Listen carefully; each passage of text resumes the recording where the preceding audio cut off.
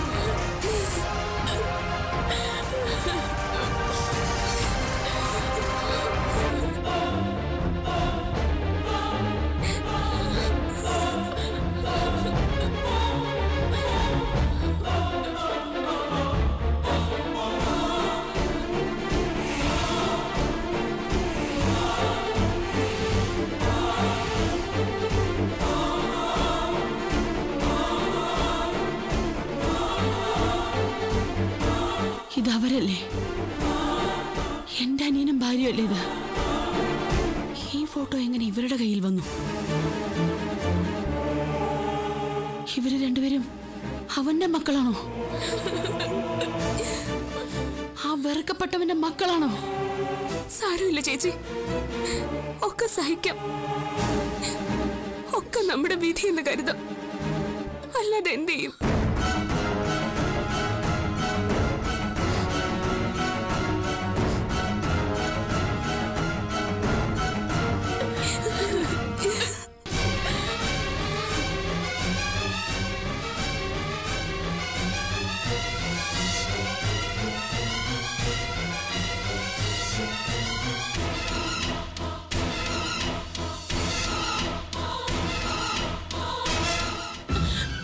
സഹിക്കാൻ പറ്റുന്നതിലും അപ്പുറമാണ് വീണെ.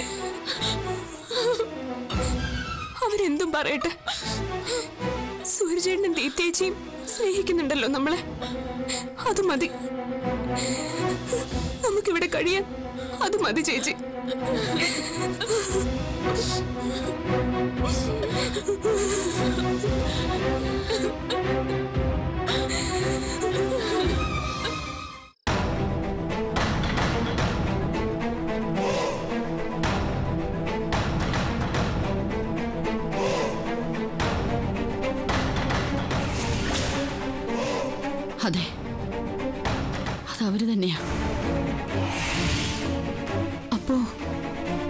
എന്റെ അനിയന്റെ മക്കളാണോ ഇവർ?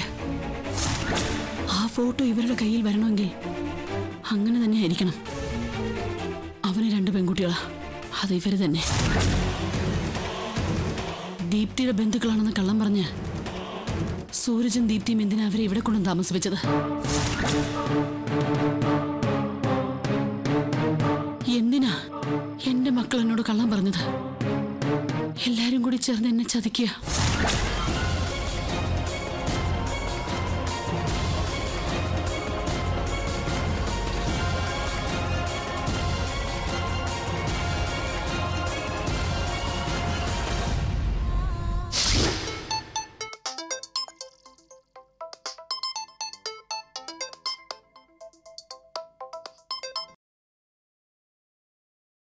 ഹലോ പ്രശാന്ത്. സാർ സാർ എവിടെയുള്ളത് വീട്ടിൽ. എന്താ പ്രശ്നം? എന്തെങ്കിലും പ്രശ്നമുണ്ടോ? യദുകൃഷ്ണന്റെ മരണത്തെക്കുറിച്ച് അന്വേഷിക്കാൻ ദീപ്തിമ്മയുടെ സ്റ്റേഷനിലേക്ക് എത്തുന്നുണ്ട്. പഴയ ഡോക്യുമെന്റ്സ് ഒക്കെ പരിശോധിക്കാൻ ഇടയുണ്ട്.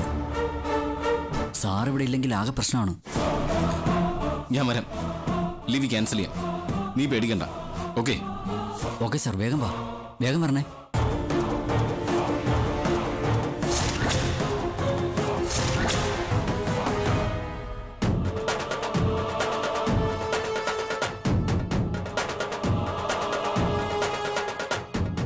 ശ്യാമേട്ടൻ എന്താ ഇന്ന് ഓഫീസിൽ പോകുന്നുണ്ടോ?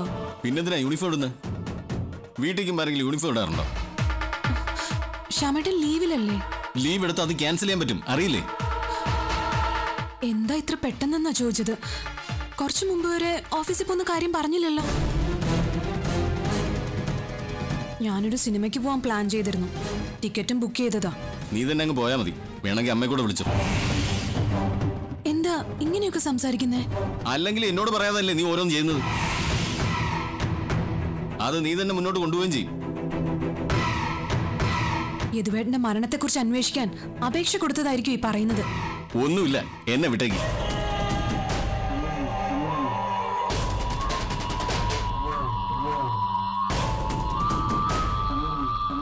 എന്താ ശ്യാമേട്ടന് പറ്റിയത്? ശ്യാമേട്ടൻ എന്തൊക്കെയോ ഭയക്കുന്ന പോലെയുണ്ട്. ഡൽഹിയിൽ നിന്ന് വരുമ്പോഴും ഞാനത് ശ്രദ്ധിച്ചു.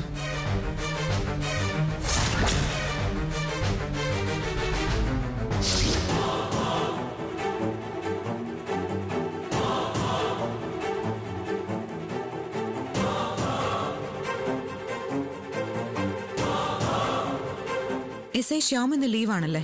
അതെ മാഡം. കുറേ ദിവസത്തേക്ക് ലീവാ.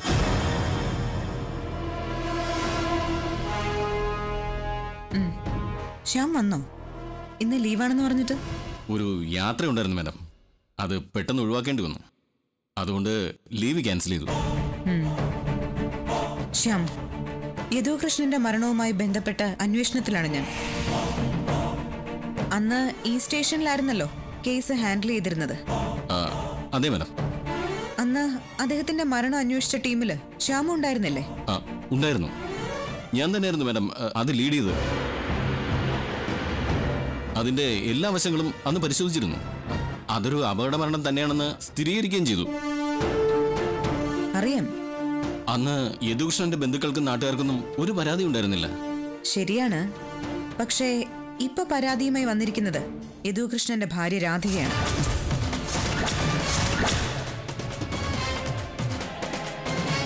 അതിന് അവർക്ക് ചില കാരണങ്ങളുമുണ്ട് അവർ പറയുന്നത് ഭർത്താവിന്റെ മരണം അപകട മരണം തന്നെയാണെന്നാണ്. യദുകൃഷ്ണന്റെ വീട്ടുകാരുടെ സംശയം തീർക്കുക എന്ന കാരണം കൂടിയുണ്ട് അവരുടെ പരാതി കത്തിൽ വീട്ടുകാർ വിശ്വസിക്കുന്നത് യദുകൃഷ്ണന്റെ മരണം കൊലപാതകമാണെന്നാണ്.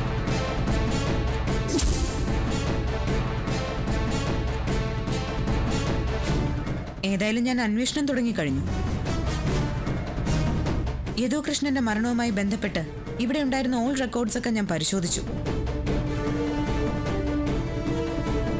യദുകൃഷ്ണന്റെ പാർട്ട്ണറായിരുന്ന ഒരു കോൺട്രാക്ടർ ഉണ്ട്. പേര് സദാനന്ദൻ.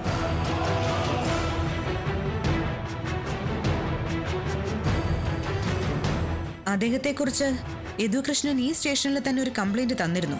ഞാൻ അതും പരിശോധിച്ചു. തന്നിരുന്നു മാഡം ഞാൻ ഉണ്ടായിരുന്നപ്പോൾ തന്നെയാണ് അത് തന്നിരുന്നത്.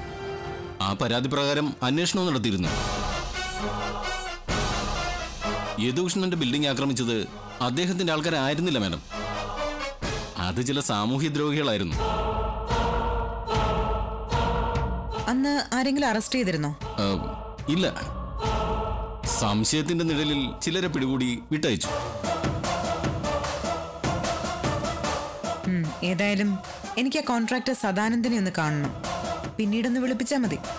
എന്റെ ഓഫീസിലേക്ക് വരാൻ പറയണം. ശരി മാഡം.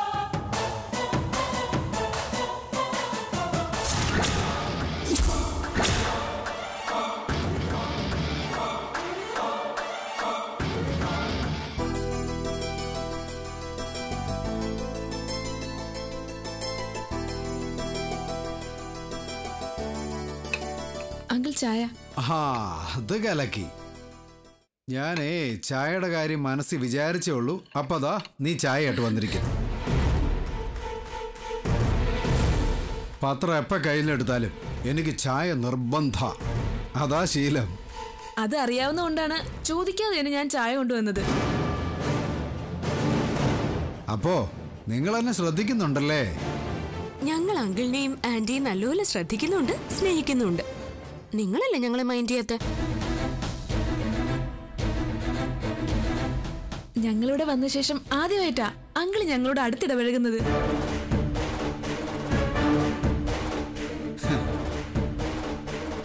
ആ ആന്റിക്ക് ചായ വേണോ?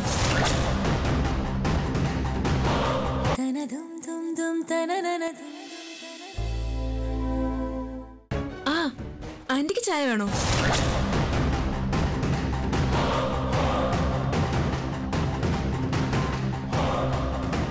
ദേ കണ്ടോ കണ്ടോ? ആന്റിയുടെ ദേഷ്യം കണ്ടോ അങ്ങളെ ഇപ്പോഴത്തെ ദേഷ്യമേ നിങ്ങളോടല്ല എന്നോടാ. ഞാൻ തെരുതെരെ ചായ കുടിക്കുന്നതിന്റെ ദേഷ്യവാ. നിങ്ങൾ കരുതുന്ന പോലെ ഒന്നും അല്ല ഇയാൾ പാവുവാ. നിങ്ങളോടുള്ള ദേഷ്യമൊക്കെ പതുക്കെ പതുക്കെ മാറിക്കോളും. നിങ്ങൾ കണ്ടു. അങ്ങനെയെങ്കിൽ സന്തോഷം. അല്ലേ വീണേ?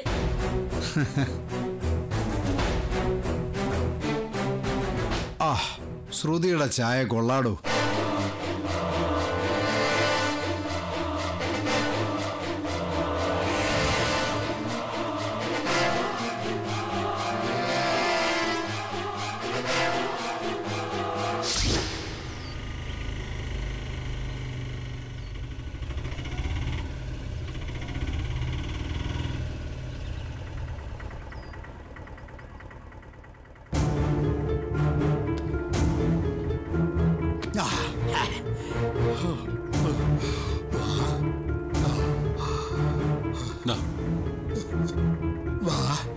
മോനെ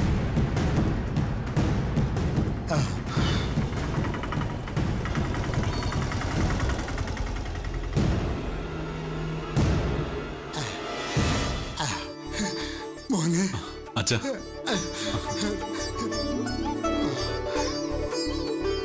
നീ വന്നല്ലോ. എനിക്കറിയാമായിരുന്നു നീ വരുമെന്ന്. രണ്ടുപേരും ഒരു പാഠം പഠിപ്പിക്കാൻ രണ്ടും കൽപ്പിച്ച് ഞാൻ വന്നിരിക്കുന്നത്. അച്ഛന്റെ കൂടെ നിൽക്കില്ലേ? നൂറ് ശതമാനം നിന്റെ കൂടെ നിൽക്കും. അത് എന്റെയും കൂടി ആഗ്രഹമല്ലേ മോനെ?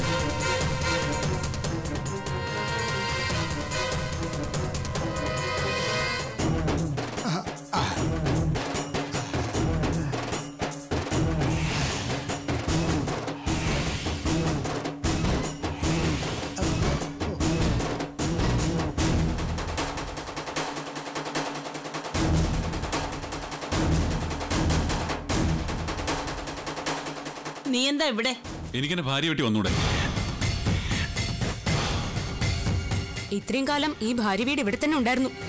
എനിക്ക് ഇന്നാണ് വരാൻ തോന്നിയത്. ഞാൻ എന്താ ഇപ്പോഴും നിന്റെ ഭർത്താവാ. നീ എന്റെ ഭാര്യയും. നമ്മൾ ഇനി മുതൽ ഒന്നിച്ച് താമസിക്കും. പിന്നെ എന്തിനാടാ നീ വക്കീൽ നോട്ടീസ് അയച്ചത്? അതപ്പ തോന്നിയ വികാരം. അച്ഛൻ വന്ന് പറഞ്ഞപ്പോ ഞാനത് പിൻവലിച്ചു. ഒന്നാലോചിച്ചപ്പോ തോന്നി എന്തിനാ ഇവക്ക് കൊണ്ട് കാശ് കൊടുത്തിട്ട് ഞാൻ നഷ്ടം സഹിക്കുന്നേ? അപ്പൊ കാശ് നഷ്ടപ്പെടുമെന്ന് പേടിച്ചിട്ടാണ് ഡിവോഴ്സ് പിൻവലിച്ചത് അല്ലേ? അതെ. നിനക്കെന്നെ ഇഷ്ടമല്ലെങ്കിൽ നീ വക്കീൽ നോട്ടീസ് അയക്ക്. ഞാൻ സഹകരിക്കാം. എനിക്ക് കാശ് തരാതെ ഡിവോഴ്സ് ആക്കാം. അതാണ് ഉദ്ദേശം അല്ലേ? അതങ്ങ് മനസ്സിൽ വെച്ചാ മതി. ഏതായാലും ഞാനൊക്കെ മറന്നു. ഇനി മുതൽ നമുക്ക് പുതിയ ജീവിതം ആരംഭിക്കാം. അല്ലേ അച്ഛാ? അതെ. ഇനിയെങ്കിലും സ്നേഹത്തോടെ ജീവിക്കാൻ പഠിക്കുക. അത് ചിലരെ പഠിപ്പിക്കാൻ കൂടിയാ ഞാൻ വന്നിരിക്കുന്നത്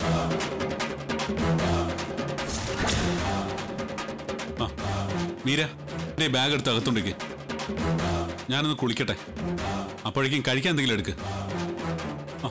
ബാഗ് എടുത്തുണ്ടേക്കടി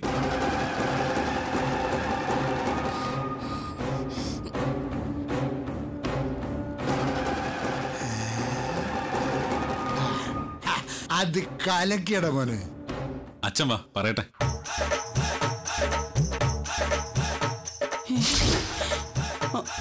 ഇവൻ ഒരുങ്ങി തന്നെയാ വന്നിരിക്കുന്നെന്ന് തോന്നുന്നു.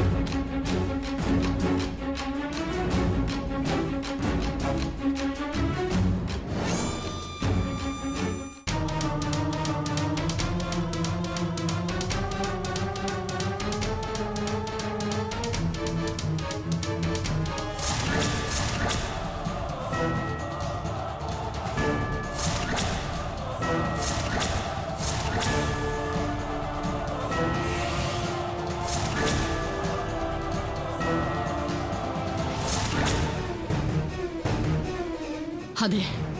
തെറ്റിട്ടില്ല. ഇത് അവനും ഭാര്യയും തന്നെയാ.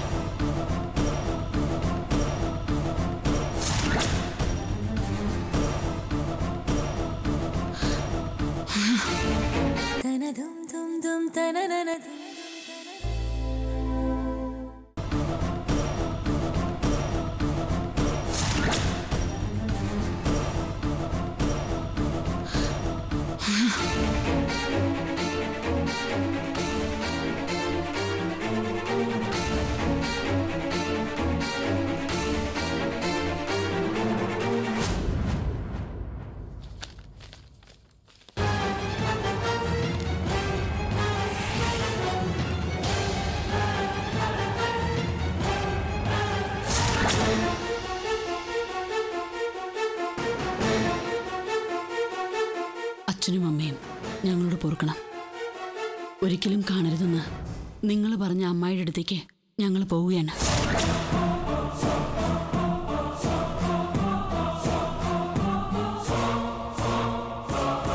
ദീപ്തി ചേച്ചിയും സൂര്യചേട്ടനും നിർബന്ധിച്ചപ്പോൾ ഞങ്ങൾക്ക് പോകേണ്ടി വന്നു. ഞങ്ങൾക്ക് അനുസരിക്കേണ്ടി വന്നു. അച്ഛനും അമ്മയും ക്ഷമിക്കണം ഞങ്ങളോട്.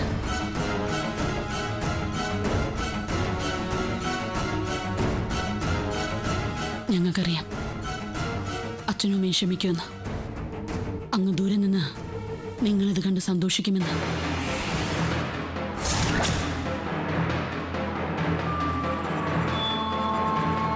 അനാഥത്വത്തിൽ നിന്ന് നിങ്ങളുടെ മക്കൾ സുരക്ഷിതമായ കൈകളിലെത്തുകയാണ്.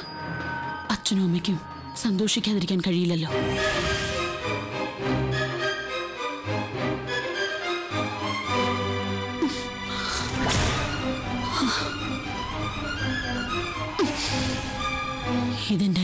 മക്കൾ തന്നെ.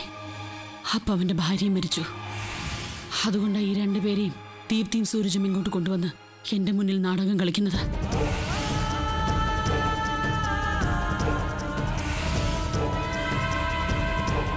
ഞങ്ങൾ തമ്മിലുള്ള ശത്രുത ഈ പിള്ളേർക്കറിയാം. ഒരു പക്ഷേ എന്നോട് പ്രതികാരം ചെയ്യുകയായിരിക്കും ഈ പിള്ളേരുടെ ഉദ്ദേശം. ഏ ദീപ്തിയും സൂരജും നിർബന്ധിച്ചാണ് വന്നതെന്നല്ലേ ഇതിൽ എഴുതിയേക്കുന്നത്? അപ്പൊ അങ്ങനെ ആവാൻ വഴിയില്ല. എങ്കിലും ഈ പിള്ളേരെ ശ്രദ്ധിച്ചേ പറ്റൂ. തെമ്മാടിയുടെ മക്കളല്ലേ ഇത്? രണ്ടുപേരെയും ഇവിടുന്ന് പുറത്താക്കിയേ പറ്റൂ. പക്ഷെ ഞാൻ എടുത്തു ചാടാൻ പാടില്ല. എന്താ ഇവരുടെ ഉള്ളിലിരിപ്പെന്ന് അറിയണം. സൂരജിനെയും ദീപ്തിയുടെയും ഉദ്ദേശം അറിയണം. അതുവരെ ഈ സത്യം ഞാൻ അറിഞ്ഞതായി ഭാവിക്കരുത്. വീണ ശ്രുതി അവരെ എന്താ വേണ്ടെന്ന് എനിക്കറിയാം.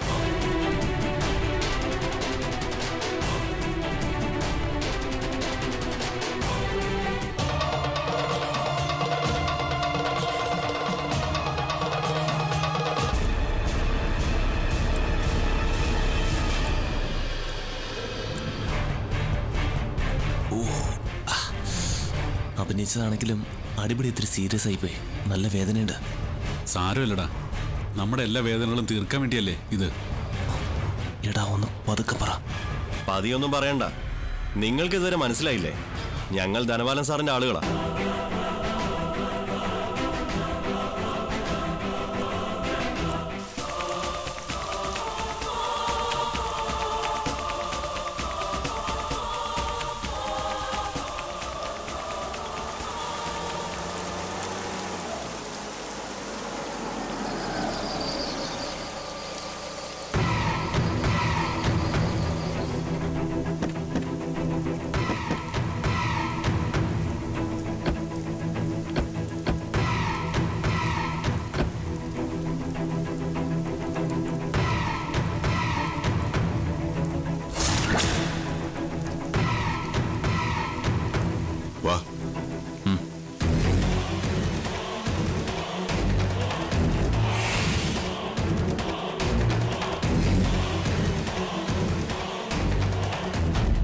അപ്രതീക്ഷിത നീക്കത്തിലൂടെ വിനീത വീണ്ടും താരമാകുമോ?